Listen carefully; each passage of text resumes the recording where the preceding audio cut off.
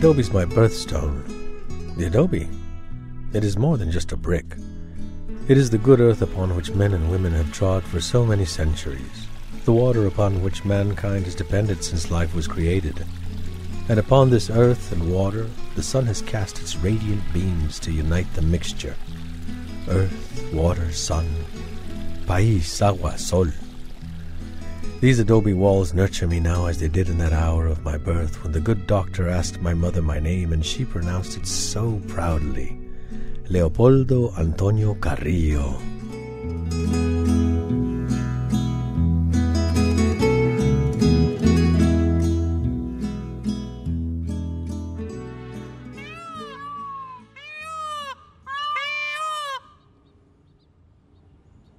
In 1937, Broadway actor and Hollywood star Leo Carrillo purchased land adjacent to the historic Rancho Agua Hedionda in northern San Diego County and started building his family's weekend retreat.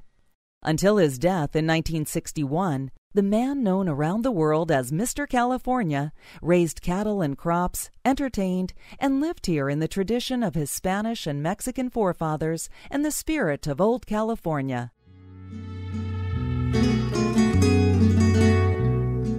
A portion of Carrillo Ranch was acquired by the city in 1977 and eventually became Carlsbad's only double designated historic site with a listing on the National Register of Historic Places and as a California Historic Landmark. In 2003, the Leo Carrillo Ranch Historic Park was opened to the public. In keeping with Carrillo family hospitality, the people of Carlsbad invite you to visit the park in person, and they join Leo in extending a heartfelt Bienvenidos, amigos. Native Americans lived in these coastal areas for thousands of years before Spanish explorers arrived in the late 1700s. The Luiseño Indians are the most recent Native American group to live here. They lived in independent village groups, each with a defined area for collecting, hunting, fishing, and small scale horticulture. Villages were usually located near fresh water sources.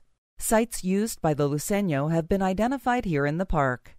By 1875, a majority of the remaining native peoples had been forced by government order to relocate to reservations, nearby towns, or ranches. In 1842, after Mexico gained independence from Spain, Alta California was divided into large ranchos, and Juan Maria Marron, a retired sea captain, received the Agua Hedionda land grant and built an adobe dwelling near a spring. In 1870, this rancho became the property of Robert Kelly, who had immigrated from the Isle of Man. Robert's brother, Matthew, and his family homesteaded adjacent land, and in 1882 they built a two story adobe house. Matthew's nine children eventually inherited the Rancho Agua Hedionda and divided it up among themselves by pulling numbers from a hat. They owned the land until it gradually passed into other hands. In 1937, Leo Carrillo was at the height of his Hollywood film career, playing supporting and character roles and earning $4,000 a week. Born in 1880 near Olvera Street in Los Angeles, Leo was a champion swimmer and studied engineering in college. He worked on the railroad and as a newspaper cartoonist before his comic and acting talents were discovered and he turned to the stage, appearing in 15 Broadway plays. In Hollywood, he eventually appeared in more than 90 films. He was part of an old and respected California family. His forefathers included an early settler of San Diego, a governor of Alta California, and a mayor of Los Angeles. He was proud of his Hispanic heritage and Californio identity and was determined to live a Western lifestyle that honored and celebrated it. When he and his wife Edith and daughter Antoinette yearned to find a weekend home away from cramped Hollywood, he headed south, looking for something special, someplace rural and romantic. I wanted a climate that was mild where I could see the ocean. I would like to get an old adobe and put it back where it was 100 years ago. We drove down back of Carlsbad. It was spring. The house was abandoned, but it was adobe. I looked down at the view, the rolling hills, the little valley, and I said, if there is enough water there, I would like to buy it.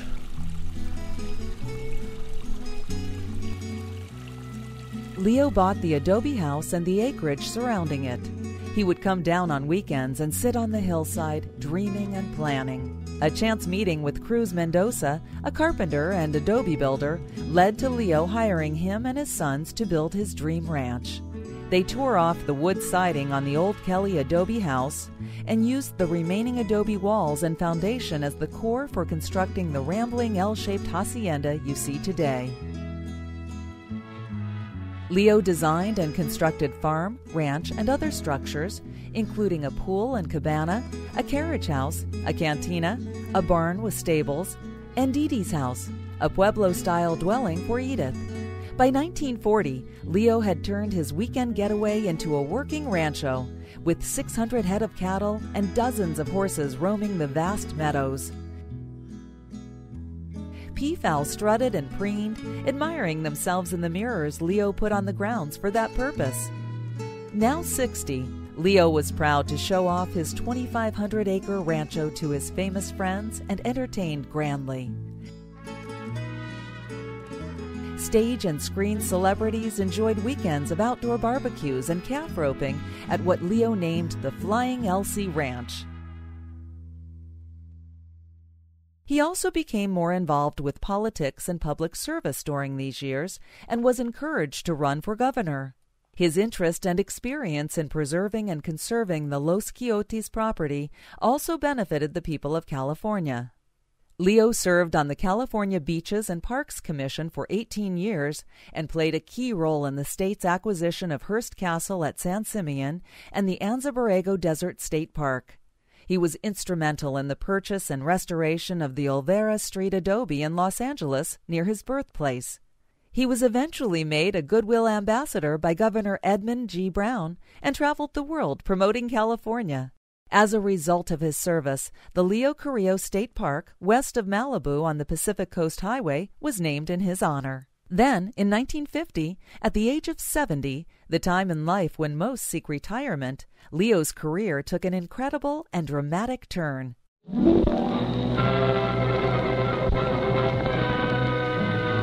Here's adventure.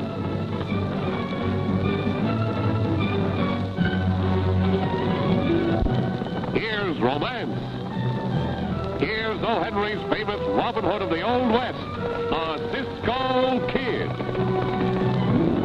As Pancho, he played opposite Duncan Renaldo's Cisco in the wildly successful TV series The Cisco Kid. Say, you haven't uh, said a word in two hours. She's go riding in so much dust, I, I got a little horses in my throat like you have. The series ran from 1950 to 1956 and was the most popular filmed children's series of its day. oh, fun! Oh, Cisco! Buoyed by his TV success and public appearances at parades, fairs, and rodeos, Leo's recognition and popularity reached an all time high, especially among children. Leo was riding high, usually on his favorite Palomino, Conquistador. But at the peak of his popularity, Dee passed away, and much of the gaiety left the ranch for Leo. He spent less and less time at the Flying LC. His own health worsened, and in 1961 he passed away at the age of 81, family and friends at his bedside. As one admirer noted, his life is a page in American history.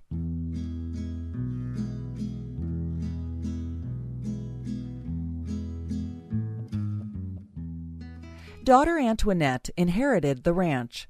She steadily sold off acreage, living on the small remaining family parcel until the late 70s, when ownership was transferred to the city of Carlsbad.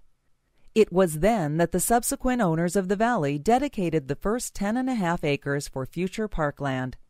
An additional 17 acres were donated when construction began on the homes in Rancho Carrillo, and the city went to work stabilizing, preserving, and restoring the historic buildings and infrastructure. The city's efforts were greatly helped by volunteers and a nonprofit educational organization, the Friends of Carrillo Ranch. Today, you can discover for yourself the romance and tranquil beauty of this Carlsbad treasure.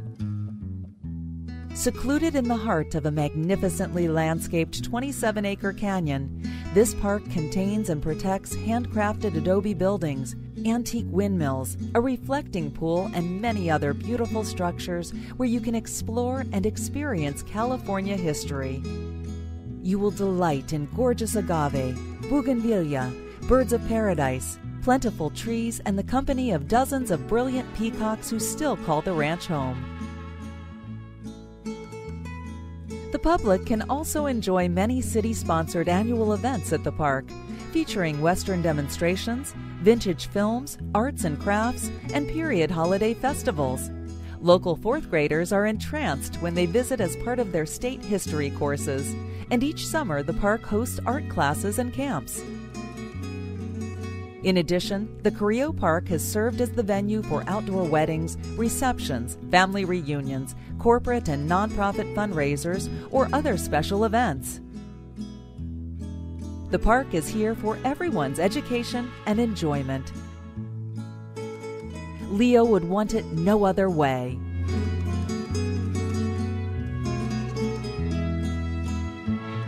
I have spoken my lines. País, agua, sol. Earth, water, sun. These are the simple things, the true things, the good things. Now, amigos, perhaps you understand why the adobe is my birthstone. Here on the rancho of the Spanish daggers amid the mellow adobe walls, I cherish thoughts of long ago mingled with plans for the future. On my doorstep is a message of welcome. Su casa, amigo. I mean that. Su casa, amigo. My house is yours, friend.